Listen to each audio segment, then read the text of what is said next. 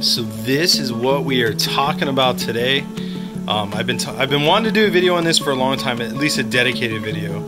But we set up a beta rack that's ready to house about hundred betas. I think it will turn out to be about 96. But we got four rows. One's not even filled. We got one with uh, empty tanks on it. We just need to get a big beta import in. But the betas are just doing phenomenal. We got the little divider cards. Uh, this is the old beta rack, and we'll go through what worked and what didn't work on this. But we're gonna go all in depth with this beta rack, tell you why we did it, how we did it, and all the little details. And also, we had some special guests today, so we'll get into that too.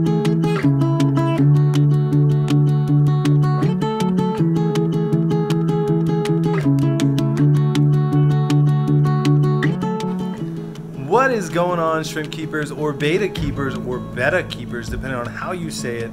Uh, this is Rob with flipaquatics.com, and today we are going over our beta setup. So, we have this new beta setup behind us that I talked to the IBC International Beta Contest, I believe it is, but I don't really know. I just know it's called the IBC. Or maybe it's not, I don't know. But I talked to some beta keepers at the contest in our At Aquatic experience um, this past like I don't know, it was maybe two months ago, and they gave me a ton of ideas to how to keep betas, what to keep them in, and I'm gonna go through all that today. So these are actually Beanie Baby storage display containers. So they work really good for betas. And again, we're gonna go through all the details, but we had a lot of special guests here today, which was a ton of fun. Um, and I won't ruin it for you, but there was a lot of people here. We walked around, we toured the whole place, and uh, it was just a great time. So let's get right into today's video. So first things first, I want to talk about this system and why it didn't work for us. Um, so these are 1.5 gallon cubes. We're actually going to transition this and use it for selective breeding for mm, probably Caridina shrimp. And what I'm going to do is I'm going to use uh, one set of racks to one big sump, and one set of racks to one big sump, and I'll use the sump for the babies and then all the breeding tanks for the adults. And so this is going to be a really cool system. So we're not scrapping this system. We just can't use it for betas. Now the first reason why is we went through and we blacked out all the panels, which um, made a lot of sense. It looked really good for us. But what happened is um, you can never remove the blackout between these, so you can never get these two betas, the males, to flare up against, or flare up to each other. Same thing with this. They couldn't flare up. They couldn't flare up. And so we had to add this like little ball right here um, just to, so that they could flare up at themselves.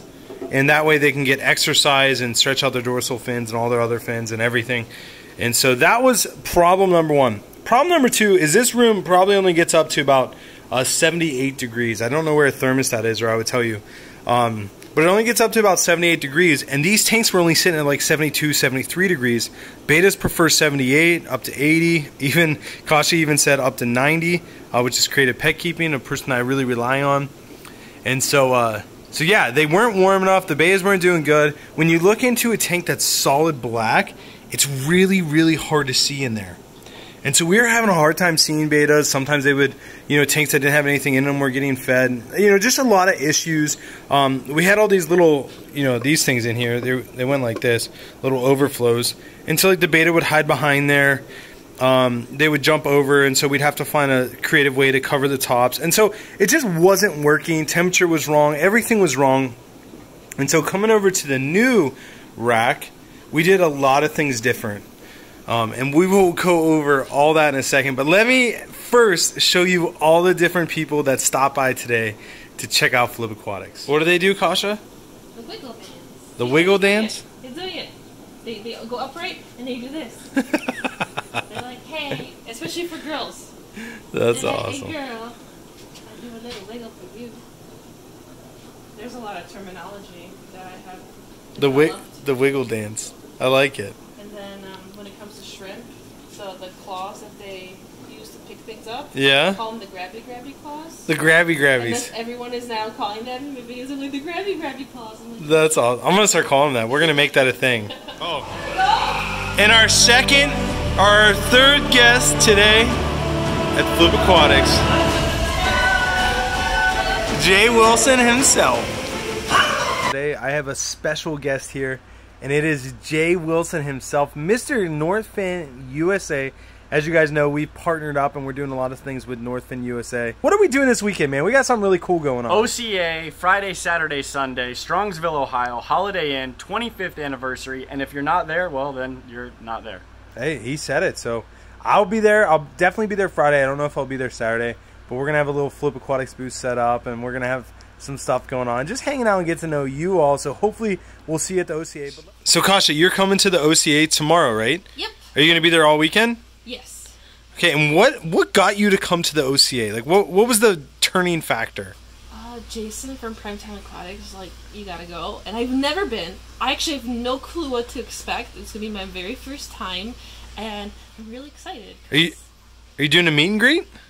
I don't. I don't know. I don't think so. No. Did you let everyone know that you were coming? No. Kasha. I because I don't know. I didn't know if there's gonna be like any particular place for like people to meet up, and this way I can like sneakily kind of like just watch people and look at fish and. Well, that's ninja awesome. Sneak. I mean, I, I, I, I could put a little thing up today, but it, it's kind of nice to just enjoy uh, an event for enjoying it because I Yeah. know that I've never both all three aquashellas. I have not seen everything because I'm always like at the booth or I'm doing something else, and I've never actually took my time to walk around and look at everything. So I kind of want I want to do that. So Jay, we're going to the OCA this weekend. It's gonna be a great time. But what can people expect at the OCA? If you've never been to a fish show, the OCA is more so like a family knit party or get together. It's like a big Thanksgiving for fish keepers, whether you're keeping cichlids or catfish. If you've been to some of the larger shows like an Aquashella, this is going to be much smaller, but it's going to be more intimate. And what I mean by that is there's just a lot of folks interacting, educating, and to me, it's one of the best cichlid central shows just because of the hard work that gets put in by the Ohio Cichlid Association. And this is their 25th year. If you've been doing a show on any scale for 25 years, it has to be at least decent to be there. And there's going to be some really cool people there from Creative Pet Keeping, Flip Aquatics will be there, Northfin USA will be there, and some of the most amazing fish keepers and catfish collectors that you'll ever find in one location right here in Ohio. So as you guys can see, we have Mr. Northfin himself, Jay Wilson, that stopped by. Shout out to Northfin USA, um, who we're really close with, we work with, and uh, and so shout out to Jay Wilson for stopping by. Also, Creative Pet Keeping and Foo, uh, Wendy, they were all a great time. It was really nice having them. But anyway, with this rack, the big changes that we made is I wanted to do a little shelf um, that the tanks could sit on. And again, these are Beanie Baby display cases. You can get them on Amazon. I want to say they're about three dollars a piece. You can get them a pack of twenty-five. And so, uh, so yeah, super super nice. And down here, Mark came up with this idea of actually drilling a hole out of it. So this is actually a little heat cable. Um, it's a reptile heat cable, and you put it down into this crack so it won't come out. And then the tank sits flat on the board. And so that was our way of ensuring that the tanks wouldn't rock back and forth, they wouldn't spill over, anything like that. And so as you can see, they fit perfect in there. And then you can just kind of center them on there so it's heating evenly. And then we went one step further. We actually plug, let me find it, right here. We plug the heat cable into here, which is the heating side. And then it comes up here and we have a temperature control. We have it set to 78, but it's set at 80.8. And that's most likely because we have this heater down here that radiates heat up. And so we bring the probe over here, comes around, comes around, and then boom, it goes right into our middle one so we know what our middle's sitting at, which usually the middle is the hottest. And so, uh, yeah, so that's really nice. It's actually, it sits right in the tank we drilled into the top. and then the beta covers, so these are actually really nice. We actually drill a little hole so we could feed through there and also they could breathe through there. So there's still good oxygen exchange. The downside to these is you have to do water changes a lot. We're doing water changes uh, Monday, Wednesday, Friday, so three times a week to ensure that, you know, nothing really fouls the water anything goes too crazy. Now, a really cool thing, um, this guy's just kind of sleeping. That's our old guy. I don't know how old he is. But let's see. We'll get, these ones will flare up really good. So when you take these cards out, the two males see each other and they instantly get upset. So they try fighting each other. Now this actually is exercise for them. So it stretches out their fins and it lets you really see like what the beta looks like. Because the other way, they're just kind of sitting like this. And their fins are just kind of down, you know, nothing crazy. Here, this is like exercise for them. And uh, it's uh, apparently to betas, it's really good for them. And so, uh, so yeah, so super cool. We let them do that, you know, probably two, three times a week. Um, I think Mike does it every single water change, and then you just put the card back in there, and it's all good. And you can walk through like these two are right next to each other, and they don't even know it. So we'll take it out of there and see what they say. They're slowly realizing that each other are there. Oh. They don't even care. Oh, I know what it is. They're eating brine shrimp. So Mike should have maybe just fed them brine shrimp that are up at the top. I don't know, but they're cool. Anyway, we're going to uh, be listing these guys on Black Friday. That's my deadline. So these will all be listed on Black Friday. It'll be what you see is what you get betas, and it'll be tank one, two, three, four, five, and then there'll be a picture of the beta. And how I'm going to get a picture of them is I'm actually going to take two containers out. I learned this from Simply Beta. Put them right next to each other, get the plants out of there, and then let them flare up and take pictures of them flaring so people can actually see what they look like. Kasha loved this guy. She thought he was super unique and pretty. So definitely some really cool beta fish here, or betta fish here, however you say it. And uh, we got another heat system here. So this one controls this rack and the bottom rack. And you can see that one's actually sitting at 77.2, whereas that one's sitting at 80.8. So a lot of cool stuff. We got more of these to come. We're actually going to be doing an import soon for, you know, to stock this out with all 96.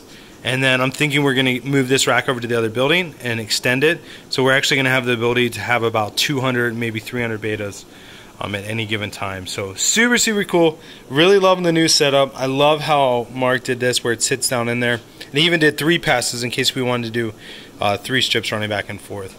So a lot of good, a lot of good things that come with beta fish and uh, what we're doing here at Flip Aquatics. I hope you guys enjoyed the video and checking out our little beta rack or betta rack here at Flip Aquatics. A lot of good things to come here in the future. I hope to see you guys at the OCA Extravaganza this weekend. Uh, what is this, like November 20th? I don't even know. It's been such a crazy week. But we have a ton of stuff going on. We'll see you at the Extravaganza. I'll be there Friday. I think Friday's the only day I'll be there with Amanda and my niece and nephew.